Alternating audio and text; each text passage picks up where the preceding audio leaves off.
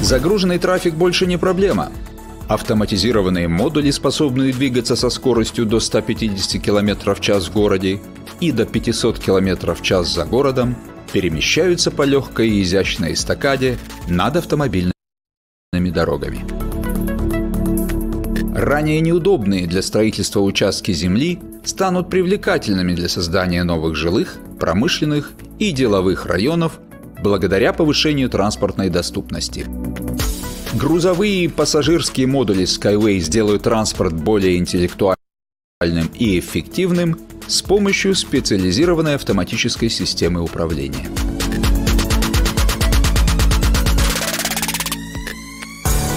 Инфраструктура Skyway органично впишется в архитектуру будущего и будет эффективно взаимодействовать с существующей транспортной сетью. Легкие надежные дороги, расположенные над поверхностью Земли, свяжут деловой центр и жилые кварталы постоянной скоростной линией. В рамках крупных транспортных узлов и промышленных центров Skyway станет незаменимым, надежным и экономичным связующим звеном производственной цепи. Система струнных дорог – это основа для формирования энергетической сети, работающей на возобновляемых источниках энергии. Строительство мультимодальной транспортной системы Skyway – триггер развития бизнеса и обеспечения устойчивого роста без ущерба окружающей среде.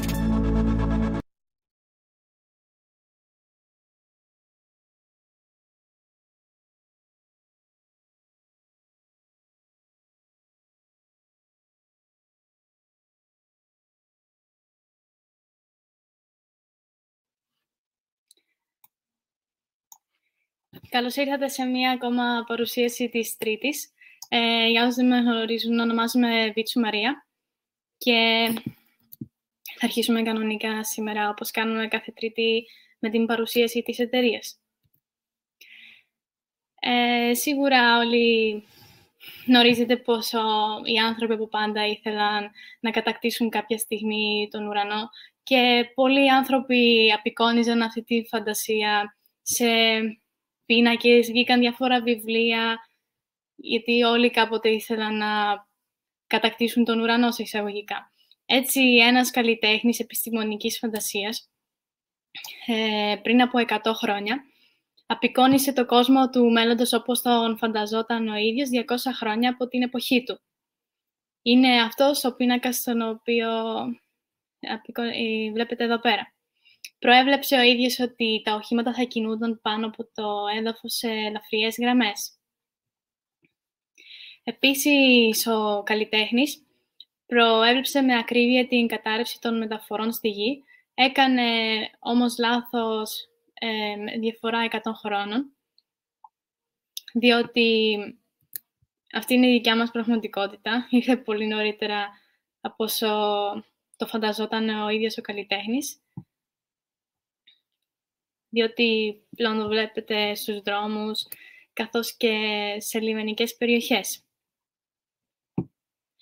Όμως, όλες αυτές οι σύγχρονες μεταφορές ε, έχουν και τα μειονεκτήματά τους εκτός από τα πλεονεκτήματα της μεταφοράς ενός ε, ανθρώπου. Το πρώτο πρόβλημα, ε, όπως βλέπετε, είναι η υπερφόρτωση δικτύων μεταφορών, καθώς και η έλλειψη ασφάλειας. Βλέπουμε καθημερινά ή ακούμε διάφορα ατυχήματα τα οποία συμβαίνουν στους δρόμους. Το τρίτο και κυριότερο πρόβλημα φυσικά είναι η μόλυνση του περιβάλλοντος, διότι κατασκευάζοντας δρόμους, ο άνθρωπος εισβάλλει στη φύση και καθώς η φύση έχει τη δική της ροή ύπαρξης, προσπαθεί να αντιστέκεται στον άνθρωπο. Όπως γνωρίζετε όμως ε, ο άνθρωπος, η επιμονή του ανθρώπου δεν έχει όρια και είναι τόσο επίμονος που αρχίζει να ξεχνά ο ίδιος ότι σκοτώνει το κόσμο στον οποίο ζει. Το καύσιμο που χρησιμοποιεί, που χρησιμοποιεί ο άνθρωπος είναι δηλητήριο για την φύση.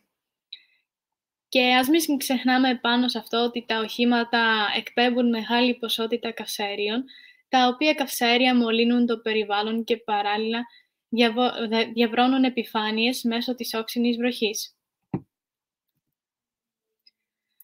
Το επόμενο πιο σημαντικό πρόβλημα της εποχής μας είναι η μεγάλη κατανάλωση ενέργειας.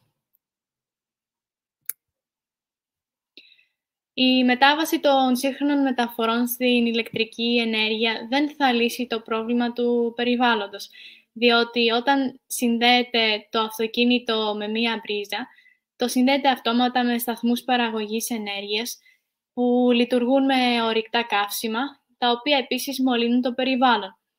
Ένας τρόπος για να βγούμε από αυτή την κατάσταση είναι η κατασκευή αυτοκινήτων με λιγότερη κατανάλωση ενέργειας. Επόμενος ο τέταρτος στόχος είναι η μείωση της κατανάλωσης ενέργειας. Σε διαφορετικά χρόνια, με διαφορετικούς τρόπους, οι άνθρωποι προσπαθούσαν να σηκώσουν τη μεταφορά από την επιφάνεια της γης στο δεύτερο επίπεδο, όπου δεν θα υπάρχουν προβλήματα με την τοποθέτηση των δρόμων σε δάση, λίμνες, ποτάμια και χαράνδρες, αλλά κατέληξαν μόνο στην κατασκευή του ίδιου του δρόμου, ο οποίος είναι τοποθετημένος σε τεράστιους πυλώνες. Φυσικά η τεράστια κατανάλωση των υλικών είναι προφανής. Οι πρώτες προσπάθειες για την κατασκευή του λεγόμενου ανάποδου δρόμου, όπως βλέπετε στην εικόνα, έγιναν τον περασμένο αιώνα στην Γερμανία και τόσο στις μέρες μας στην Κίνα, το τραμ με τροχού στην οροφή διαφέρει από το τραμ του εδάφους, τότε καταλαμβάνει λιγότερο χώρο στο έδαφος, το οποίο είναι και η μόνη διαφορά. Αριστερά βλέπετε το τελεφερίκ και δεξιά τα εναέρια βαγόνια, τα οποία δεν έχουν τη δική τους μηχανή. Σέρνονται μόνο από ένα σκηνή και δεν είναι ανεξάρτητες μεταφορές.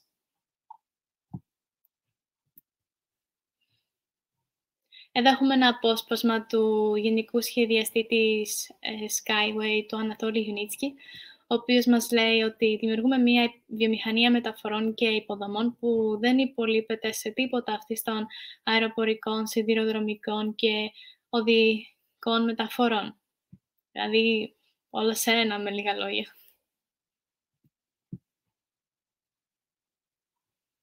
Αυτή είναι η μεταφορά που προέβλεψε ο καλλιτέχνης της επιστημονικής φαντασίας, τον οποίο αναφέραμε νωρίτερα. Είναι η υπέργεια μεταφορά, δηλαδή η μεταφορά του δεύτερου επίπεδου. Γενικά, ο άνθρωπος χρησιμοποιούσε τις τεντωμένες ε, χορδές εδώ και πολύ καιρό. Όπως βλέπετε στο τσίρκο ή ακόμα και σε μουσικά όργανα. Ακριβώς με τον ίδιο τρόπο λειτουργούν και οι δομές γραμμής της μεταφοράς χορδής. Τα σύρματα στήριξης που στηρίζουν τις σύγχρονες γέφυρες μπορούν να χρησιμεύσουν ως βάση για τη δομή της γραμμής της, μετα... της μεταφοράς χορδής.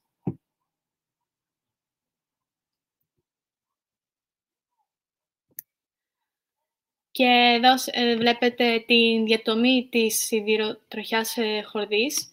Όπως ε, βλέπετε αυτές τις δέσμες που δείχνει η εικόνα από σειρματόσχηνα, εξασφαλίζουν την, με την εξαιρετική αντοχή τους την, την ακαμψία της γραμμής, καθώς και την ομαλή ολίσθηση των οχημάτων. Λόγω της ανθεκτικότητας των στηριγμάτων και του εδάφους των σιδηρο, σιδηροτροχιών, το σύστημα μεταφοράς Skyway είναι ανθεκτικό σε πλημμύρες, κατολιστήσεις, τσουνάμις, σεισμούς και άλλες φυσικές καταστροφές, καθώς ακόμα και στις τρομοκρατικές ενέργειες.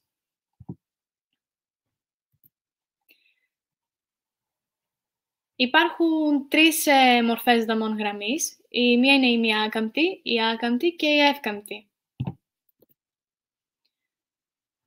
Σε αυτή την εικόνα βλέπετε την εύκαμπτη και την ημιάκαμπτη. Και εδώ η άκαμπτη. Ο εφευρέτης και γενικός σχεδιαστής των τεχνολογιών Χορδής Ανατόλη Γιουνίτσκι εργάζεται πάνω σε αυτό το έργο ε, παραπάνω από 40 χρόνια.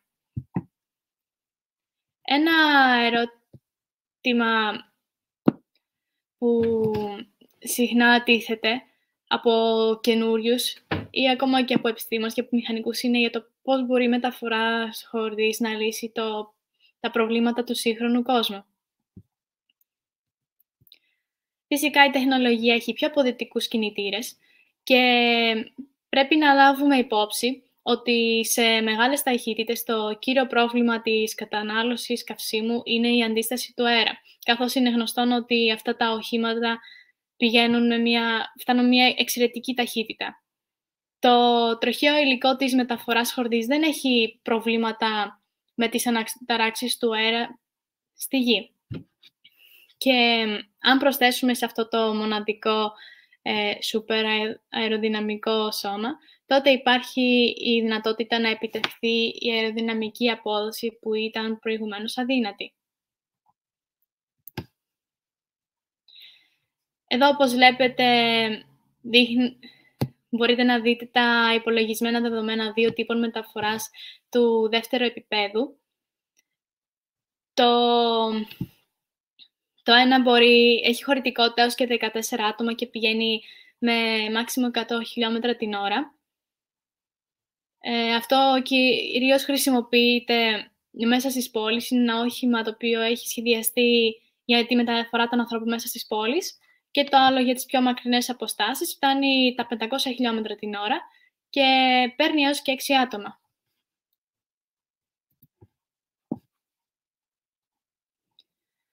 Ένα άλλο ερώτημα το οποίο τίθεται συχνά είναι για το πώς εξασφαλίζεται η ασφάλεια των επιβατών που ανεβαίνουν σε ένα όχημα πάνω από το έδαφος. Αυτό το διάγραμμα που βλέπετε δείχνει το σύστημα αντιεκτροχιασμού, το οποίο παρέχει πλήρη αξιόπιστο έλεγχο της κίνησης.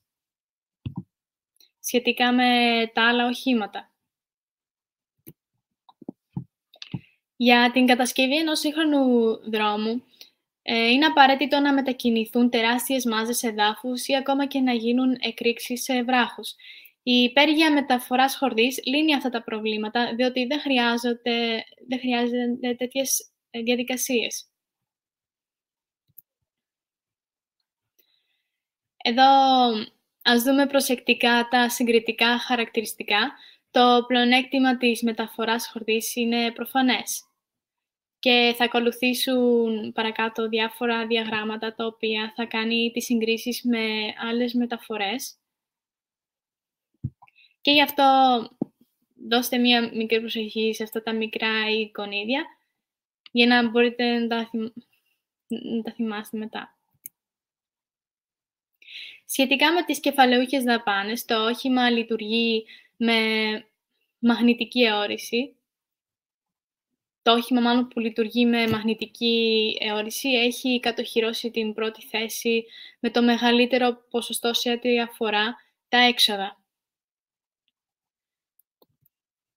καθώς και στις λειτουργικές δαπάνες με την διαφορά ότι δεν έχει τόσο μεγάλη διαφορά με τα άλλα οχήματα. Παρ' όλα αυτά, η διαφορά αυτή είναι στοιχειώδης σε, σχέση με την τεχνολογία Skyway, η οποία έχει τις λιγότερες δαπάνες σε σύγκριση πάλι με τα άλλα μέσα μεταφοράς. Σχετικά με την περιβαλλοντική μόλυνση, τα οχήματα της Skyway έχουν και πάλι την πρώτη θέση ως τα πιο οικολογικά και φιλικά προς το περιβάλλον οχήματα και είναι εμφανής η μεγάλη διαφορά σχετικά με τις οδικές μεταφορές που βλέπετε εδώ πέρα. Οι τεχνολογίες μεταφοράς τύπου χορδών έχουν σχεδόν μηδενικές ε, αρνητικές περιβαλλοντικές επιπτώσεις, επιτρέποντας τις αερογραμμές να βρίσκονται σε περιοχές με αυστηρούς περιβαλλοντικούς κανονισμούς. Αυτό ήταν μια παρένθεση σχετικά με την περιβαλλοντική μόλυνση. Και εδώ, σύμφωνα με αυτό το διάγραμμα, το τελεφερίκ καταναλώνει τη μεγαλύτερη ενέργεια, ακολουθούν το όχημα μαγνητικής αιώρησης, το αεροπλάνο, τα οδικά οχήματα, ο σιδηρόδρομος και τέλος ε, το Skyway, τα οχήματα της Skyway. Έχουν τη μικρότερη κατανάλωση ενέργειας, τη λιγότερη. Στην μεταφορική ικανότητα μπορείτε να δείτε πως την πρώτη θέση την, ε, κατέχει και πάλι, ε, τα, την κατέχουν και πάλι τα οχήματα της Skyway, ενώ ακολουθούν από πίσω το μετρό και το τραμ. Και σε αυτό εδώ το τελευταίο διάγραμμα μπορείτε να δείτε πως το Skyway είναι σχεδόν τόσο γρήγορο όσο και το αεροπλάνο και αν μετρήσουμε το χρόνο που θέλουν οι επιβάτες για να επιβιβαστούν, σίγουρα το Skyway τότε κατοχυρώνει την θέση ως το πιο γρήγορο, οικονομικό και ασφαλές μεταφορικό μέσο. Αυτές είναι οι εκδοχές μεταφοράς μεγάλων εμπορευματοκιβωτίων, καθώς και μικρών φορτίων. Πριν από την είσοδο στην αγορά, κάθε όχημα, ειδικά αυτά που σχετίζονται με τη μεταφορά ανθρώπων, πρέπει να περάσουν πολλές δοκιμές. Η τεκμηρίωση που επιβεβαιώνει ότι η μεταφορά χορδής έχει περάσει τις δοκιμές μπορεί να βρεθεί εύκολα στην ιστοσελίδα. Μέχρι στιγμής έχουν κατασκευαστεί 12 είδη μεταφοράς, τα οποία έχουν περάσει με επιτυχία την πιστοποίησή τους. Αναμένονται άλλα δύο είδη, τα οποία θα μας παρουσιάσει η εταιρεία στο προσεχές μέλλον. Η τεχνολογία Skyway μάλλον η τεχνολογία μεταφοράς χορδής έλαβε συνολικά 83 διπλώματα έβρεση τεχνίας σε 18 χώρες από τις Ηνωμένες Πολιτείες Αμερικής μέχρι και την Κίνα. Φυσικά ένα άτομο δεν μπορεί να πραγματοποιήσει ένα τόσο μεγάλο έργο σε χρόνο ρεκόρ και μιλάμε για τον επιστήμονα που το εφήβρε. Και για αυτό το σκοπό Ιδρύθηκε στο Μίνσκ η εταιρεία Unitsky String Technologies. Από το 2019 στην εταιρεία εργάζονται πάνω από χίλιοι ειδικοί υψηλής ειδίκευσης. Στην δική μας παραγωγή έχουν ήδη σχεδιαστεί και κατασκευαστεί 11 σύνθετα μηχανήματα, τα οποία είναι εμπορευματικά και επιβατικά, αστικά και υπεραστικά υψηλής ταχύτητας καθώς και υπερυψηλής ταχύτητας. Κοντά στο Μίνσκ βρίσκεται το Εκατέχνα Πάρκ. Είναι ο πρώτος χώρος δοκιμής πιστοποίησης και επίδειξης. Κάθε χρόνο στο Εκαφέστ ε, μαζεύονται χιλιάδες επενδυτές για να δούνε με τα ίδια τους τα μάτια τα επιτεύγματα της εταιρείας και να σιγουρευτούν για το τι πράγματι συμβαίνει. Εκεί ενημερώνονται και μπορούν να θαυμάσουν το έργο στο οποίο έχουν επενδύσει. Τον Σεπτέμβριο του 2018 άρχισε και η κατασκευή του Κέντρου Καινοτομίας Skyway στα Ενωμένα Αραβικά Εμμυράτα και συγκεκριμένα στο Εμμυράτο της Άρτσα. Το Κέντρο καινοτομίας Skyway στη Σάτζα είναι ερευνητικό και παραγωγικό σύμβλαγμα που θα γίνει η πρωτοποριακή θέση του ομίλου εταιριών Skyway κατά την είσοδό του στην αγορά της Μέσης Ανατολής και της Ασίας. Η μεταφορά στα Ηνωμένα Αραβικά Εμμυράτα θα είναι άλλη μία απόδειξη ότι αυτή η τεχνολογία μπορεί να λειτουργήσει σε οποιαδήποτε κλιματική ζώνη του πλανήτη. Ε, η τεχνολογία αυτή ενσωματώνεται εύκολα και χάρη στον απλό σχεδιασμό. Οι χορδές flyover μπορούν να τοποθετηθούν σε πυκνοκατοικημένες πόλεις χωρίς να παρεμβαίνουν στην υπάρχουσα υποδομή. Η εταιρεία σχεδιάζει όχι μόνο την εκπόνηση των μεταφορών, υπάρχουν έργα για οικολογικά κτίρια, καθώς και για χώμα με μοναδικές γόνιμες ιδιότητες. Και φυσικά οι γραμμικές πόλεις είναι μια νέα λέξη στο πολεοδομικό σχεδιασμό. Ε, τελειώσαμε με την γενική παρουσίαση. Θα ανοίξουμε τώρα να πούμε μία τα νέα και μετά θα κάνω και μία αναφορά για την έκπτωση η οποία ε, τρέχει τώρα αυτή τη στιγμή στην εταιρεία.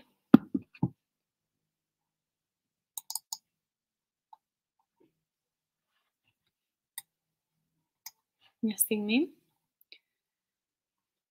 Λοιπόν, το 2020 έγινε διόρθωση και αναβάθμιση των γραμμών στο Εκατέχνα Πάρκ στη Λευκορωσία. Για το υπεργρήγορο μοντέλο γίνεται συζήτηση ε, για το σε ποια χώρα θα κτιστεί η δοκιμαστική γραμμή συνολικού μήκους 20 χιλιόμετρων και άνω για την πιστοποίηση ταχύτητας 500 χιλιόμετρων. Επίσης, κατασκευάστηκε και περνάει δοκιμές στο ελαφρύτερο όχημα, το Unilight. Έχουν ξεκινήσει οι κατασκευές της 7ης γραμμής για τα βαριά οχήματα. Ε, αυτά εδώ πέρα που βλέπετε, το Unicont. Έχουν σχεδιάσει και κατασκευάσει αυτά τα δύο ηλεκτρικά οχήματα όπως σας είπα, το Unicont, το οποίο έχει συνολική μάζα 50 τόνων και ικανότητα μεταφοράς 35 τόνων, ενώ η μέγιστη ταχύτητά του φτάνει τα 120 χιλιόμετρα την ώρα.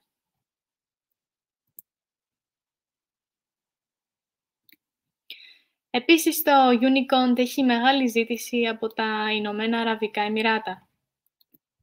Το δεύτερο όχημα, το Unibus, έχει συνολική χωρητικότητα για 25 επιβάτες.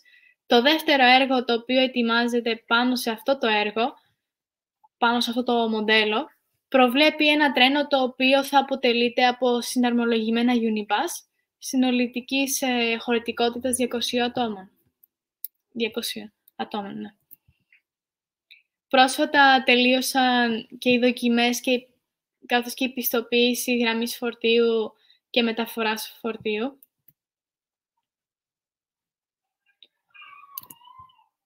Το 2020 φτιάχτηκε και ένα νέο εργαστήριο για την συριακή παραγωγή και έκταση ε, 1.200 τετραγωνικών μέτρων.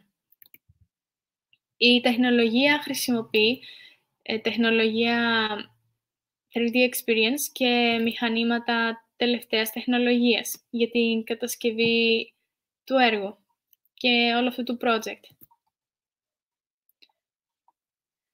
Γενικά συνεχίζονται και τα έργα στο Innovation Center της Σάρτσα, που χτίζονται οι νέες γραμμές. Δοκιμαστικό κέντρο βρίσκεται και στο χώρο του Αμερικανικού Πανεπιστημίου.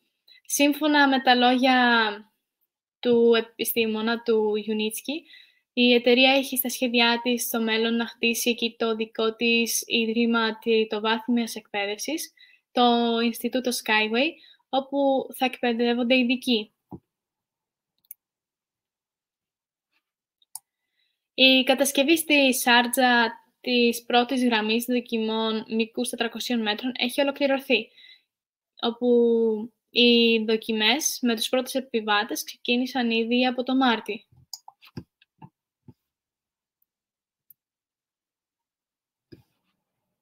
Ένα άλλο κομμάτι 2,5 χιλιόμετρων θα ξεκινήσει την διαδικασία πιστοποίησης τον Μάιο. Σε τρία χρόνια σχεδιάζεται να ολοκληρωθεί μία διαδρομή φορτίου 130 χιλιόμετρων από τη Σάρτζα έως και το λιμάνι Χορφακάν. Το EcoDome έχει δύο λειτουργίες στο κέντρο έρευνας και ανάπτυξης Το ένα είναι ότι η μελλοντική, το EcoDome είναι η μελλοντική έδρα του έργου Skyway στη Μέση Ανατολή. Θα υπάρξουν παρουσιάσεις τεχνολογίας μεταφοράς χορδών για ξένες αντιπροσωπείες. Και δεύτερον, το EcoDome είναι μια σαφής ε, επίδειξη μιας φιλικής προς το περιβάλλον προσέγγισης στην κατασκευή, η οποία συνδυάζει την πράσινη τεχνολογία με την εργονομική αρχιτεκτονική. Το χώρο το, όπου γίνονται οι δοκιμές ε, τον επισκέφτηκε και ο πρίγκιπας, ο οποίος είναι και μέλος του Ανώτατου Συμβουλίου των Αραβικών Εμμυράτων Κυβερνήτη της Σάρτζα. Το Skyway Test Center στη Σάρτζα το επισκέφτηκαν αντιπροσωπείς και ανακοίνωσαν σχέδια για την κατασκευή ενός ε, καινοτόμου συστήματος μεταφορών, το The Line, στο πλαίσιο του νέου του έργου γραμμικής πόλης νέων. Σήμερα η κατασκευή δύο βαρέων διαδρομών μήκους 2,5 χιλιόμετρων συνεχίζεται στο κέντρο Unitsky String Technologies. Σύμφωνα με τους χειριστές, ο έλεγχος των εμπορευματικών μεταφορών Skyway σε βαγγές διαδρομές μπορεί να ξεκινήσει τον Μάιο. Η εταιρική ταυτότητα και το λογότυπο έχουν αλλάξει στο κτίριο του κεντρικού γραφείου του προγραμματιστή Unitsky String Technologies. Οι παλιοί ίσως θυμούνται για το πώς ήταν το λογότυπο, το παλιό λογότυπο. Στις 18 ε, Μαρτίου, στο αγγλικό γλωσσικό δελτίο τύπου Session PR Web, δημοσιεύτηκε ένα άρθρο με τίτλο «Η Unitsky String Technologies έχει αλλάξει την αγορά συστημάτων μεταφορών». Το άρθρο είχε προηγουμένως εμφανιστεί στον επίσημο ιστότοπο της εταιρείας Skyway, προγραμματιστή Unitsky String Technologies, και στη ρώσικη επιχειρηματική ε, εφημερίδα Βιέντεμαστσί, ε, όπου δημοσίευσε ένα άρθρο σχετικά με το γιατί οι τεχνολογίες χορδών μπορούν να αλλάξουν την αγορά συστημάτων μεταφορών.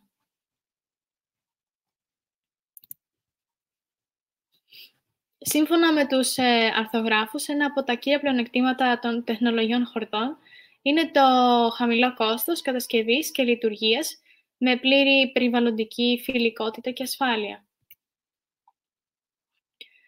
Η κατασκευή ενός χιλιόμετρου γραμμής Skyway κοστίζει περίπου ένα εκατομμύριο δολάρια, το οποίο ποσό είναι από 3 έως και 5 φορές χαμηλότερο από την κατασκευή των πιο προσιτών συστημάτων μεταφοράς όπως αυτοκινητόδρομων, σιδηρόδρομων ή τραμ. Η μεταφορά Unicont επιτρέπει τη μείωση του κόστους μεταφοράς από δύο φορές σε σύγκριση με το σιδηρόδρομο και τρεις φορές σε σύγκριση με τον αυτοκινητόδρομο. Ε, η μεταφορά υψηλής ταχύτητας, ε, αυτό εδώ αυτό το μέσο μεταφοράς. Ε, ένα χιλιόμετρο μιας τέτοιας διαδρομής κοστίζει, θα κοστίσει μάλλον περίπου 5 εκατομμύρια δολάρια. Ε, συγκριτικά η κατασκευή αυτοκινητόδρομου υψηλής ταχύτητας στην Ευρώπη είναι πολύ πιο ακριβή, διότι κοστίζει περίπου 30 εκατομμύρια δολάρια ένα χιλιόμετρο. Συγκριτικά το υπεραστικό μετρό στο Ντουμπάι κόστησε στην πόλη περισσότερο από τον 20 εκατομμύρια δολάρια ένα χιλιόμετρο και το monorail του Σιάτλ κόστησε πάνω από 60 εκατομμύρια δολάρια ένα χιλιόμετρο, ενώ το Sona monorail στην Ιαπωνία πάνω από 180 εκατομμύρια ένα χιλιόμετρο.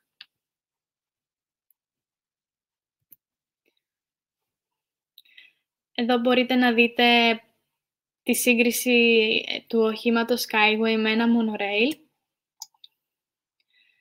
Η απόσταση διαδρομής, όπως βλέπετε στο Skyway, δεν έχει όρια, ενώ στο Monorail είναι έως και 50 χιλιόμετρα.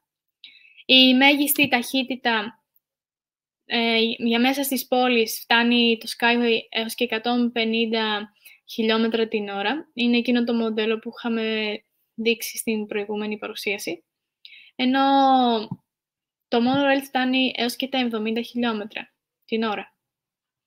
Σχετικά με τα σιδηροδρομικά βαγόνια, τα, το Skyway είναι αυτόνομα αυτοκίνητα σε χαλίδινους τροχούς, και ενώ το monorail είναι βαγόνια πάνω σε λάστιχα πιεσμένου αέρα.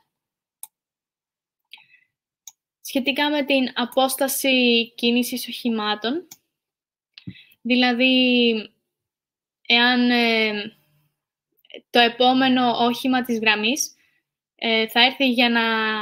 θα είναι έτοιμο για να επιβιβαστεί από 20 έως και 50 δευτερόλεπτα. Ενώ το monorail θέλει περισσότερο χρόνο, θέλει από 5 έως και 20 λεπτά μέχρι να έρθει το επόμενο όχημα της γραμμής. Και σχετικά με τη χωρητικότητα, το Skyway μπορεί να μεταφέρει ως και μισό εκατομμύριο επιβάτες καθημερινά, ενώ το monorail έως και 137.000. Στις 3 Μαρτίου, το Sharjah Research and Technology έγινε μία παρουσίαση του έργου Mohammed.com, το οποίο βοηθά τους τουρίστες να βρουν τρόπους να περάσουν το χρόνο τους στα Ηνωμένα Αραβικά Εμμυράτα. Επίσης, στις 14 Μαρτίου κυκλοφόρησε ένα βίντεο στο κανάλι YouTube του Sharjah Research and Technology, το οποίο έδειχνε τα έργα που βρίσκονται στο πάρκο. Το βίντεο δείχνει ε, κομμάτια από δοκιμές μεταφοράς χορτών.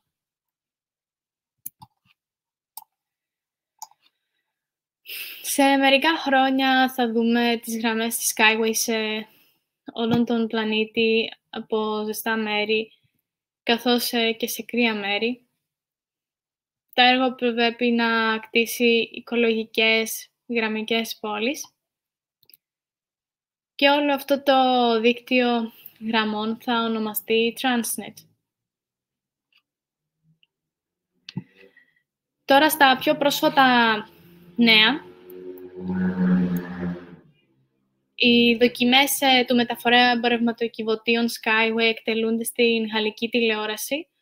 Ε, το, κανάλι του, στο, το κανάλι στο YouTube, το Sharjah Research and Technology Park, κυκλοφόρησε εκεί πέρα μία έκθεση του γαλλικού τηλεοπτικού καναλιού France 2 με τίτλο Transport of the Future. Το βίντεο έδειξε τις δοκιμές του Tropical Unicar, για τις οποίες δοκιμές ε, ο Ολέγ Ζαρίνσκι, ε, ο οποίος είναι διευθύνων σύμβουλος της ε, Youth Skyway Transport, σχολίασε ότι το Unicar θα βοηθήσει στην ανακούφιση της κυκλοφορίας των επιβατών στους δρόμους και θα κάνει ταξίδια μέσα και μεταξύ πόλεων πιο άνετα. Επίσης, ο, ο ΛΕΚ παρουσίασε το δωμάτιο, δηλαδή το χώρο, από τον οποίο παρακολουθείται η αυτόματη μεταφορά. Μπορούν να παρακολουθούνται έως και 100 μοντέλα Skyway από αυτό το δωμάτιο κάθε φορά. Αλλά το πιο σημαντικό είναι ότι το ρεπορτάζ έδειξε τις δοκιμές ε, λειτουργίας του μεταφορέα των εμπορευματοκιβωτίων Skyway στο φως των 400 μέτρων. Ο παρουσιαστής τόνισε ότι κοστίζει μόνο ένα δολάρια ανά 100 χιλιόμετρα, ανά 100 τόνους χιλιόμετρα για τη μεταφορά εμπορευμάτων. Αυτό το πλεονέκτημα αναφέρεται επίσης στον ίδιο τον μεταφορέα των εμπορευματοκιβωτίων. Το ρεπορτάζ τελείωσε με μια σύντομη συνέντευξη με το Γενικό ε, Διευθυντή του SRTI Park, Hussein Al Mahmoudi. Σύμφωνα με τον ίδιο στο ίδιο πάρκο όπου διεξάγονται τώρα οι δοκιμές της Skyway ε, και φιλοξενεί τη τεχνολογία που θα μπορούσε να βοηθήσει τα Ηνωμένα Αραβικά Εμμυράτα να μετακινηθούν από μια οικονομία που βασίζεται στο πετρέλαιο, από εκεί, να βασιστούν πλέον ε, στη γνώση και στην καινοτομία έως και το 2030. Ο ίδιος, ο Αλ Μαχμούντ επίσης δήλωσε ότι οι πόλεις στα Ηνωμένα Αραβικά Εμμυράτα θα μπορούσαν να είναι οι πρώτες που θα εφαρμόσουν τις τη μεταφορά χορδών πριν εμφανιστεί αυτή η τεχνολογία σε άλλες χώρες και έπειτα σε όλο τον κόσμο.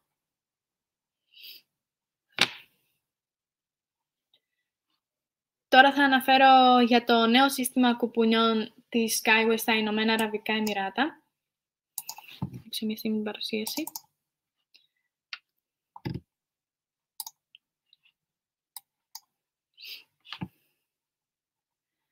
Το έργο Skyway έχει πετύχει πλέον αρκετά εντυπωσιακά αποτελέσματα που θα ήταν δύσκολο να πιστέψουμε πριν από λίγα χρόνια.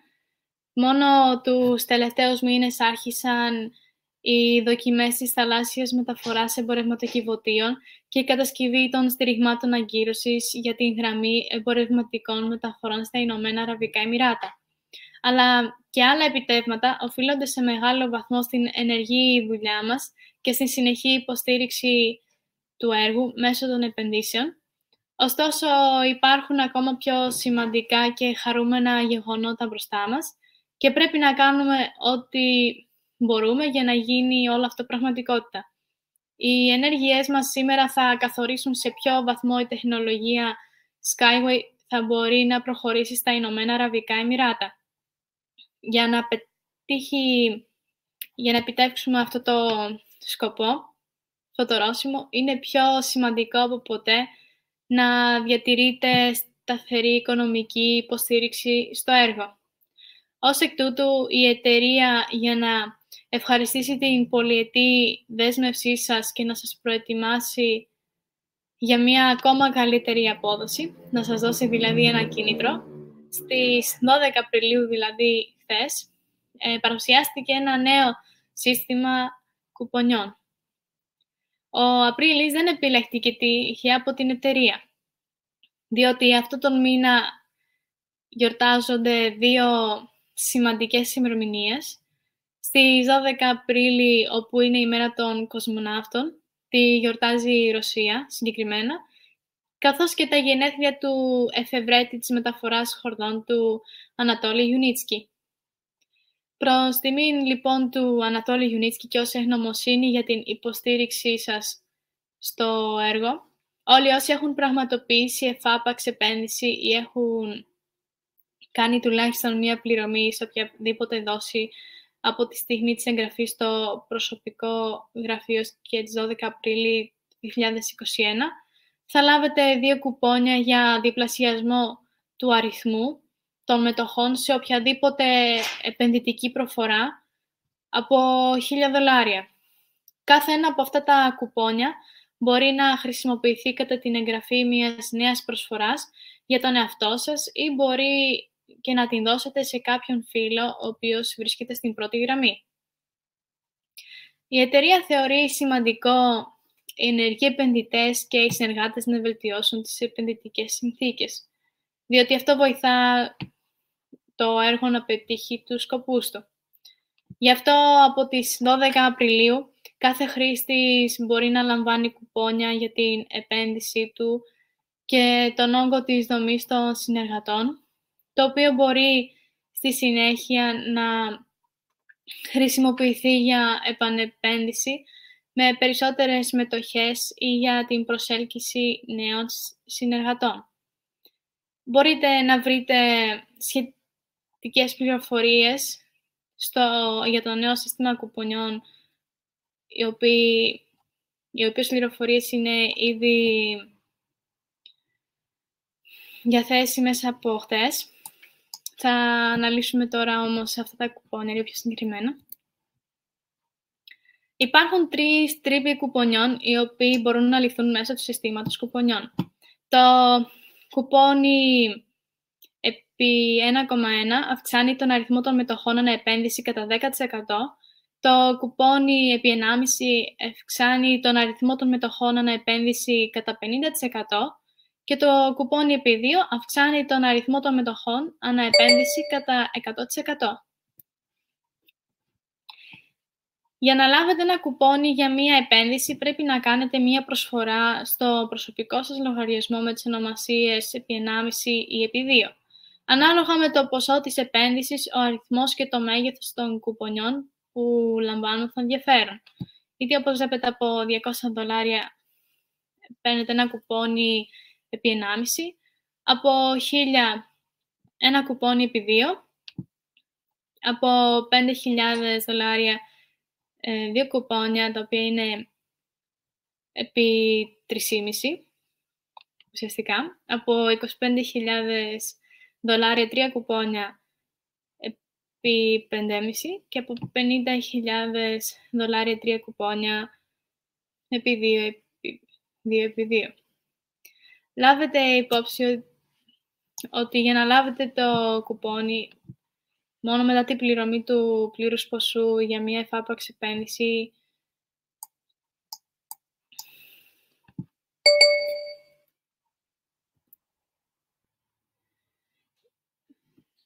για τον όγκο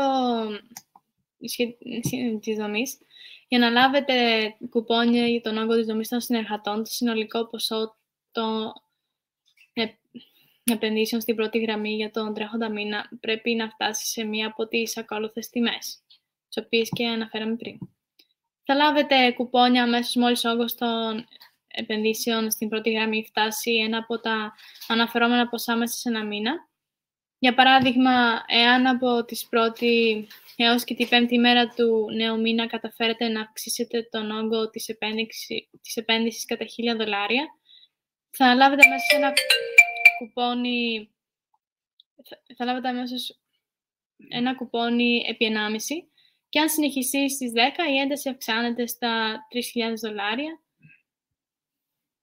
Θα λάβετε αμέσως κουπόνια σε μεγαλύτερες ποσότητες επί 2 και επί 1,5. Με αυτόν τον τρόπο μπορείτε να λάβετε έως και 11 κουπόνια το μήνα.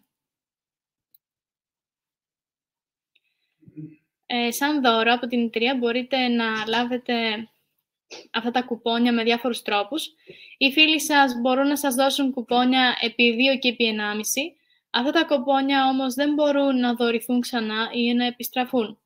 Όλοι όσοι έχουν εγγραφεί στο προσωπικό τους λογαριασμό από τις 12 Απριλίου του 2021 λαμβάνουν ένα κουπόνι επί 1,1 το οποίο μπορεί να χρησιμοποιηθεί απεριόριστες φορές για οποιασδήποτε επενδυτικές προσφορές εντός 7 ημερών από την ημερομηνία, από την ημερομηνία της εγγραφής τους.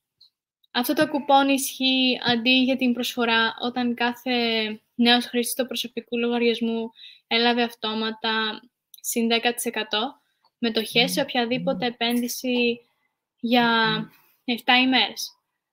Το κουπόνι εγγραφής είναι επίσης μη εξαργυρώσιμο.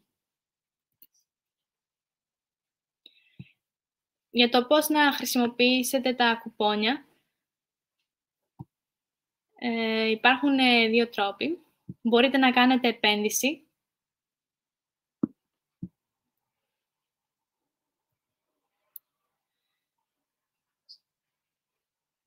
Ε,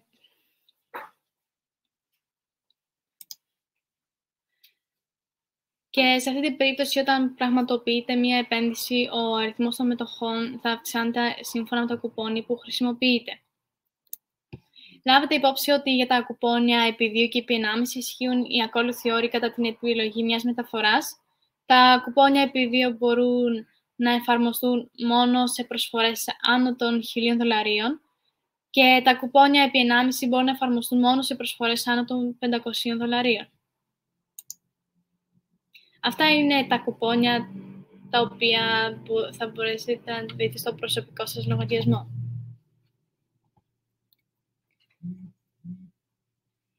Και αυτά είχαμε να πούμε για σήμερα. Ελπίζω να έχουμε περισσότερα να... μέχρι την επόμενη Τετάρτη.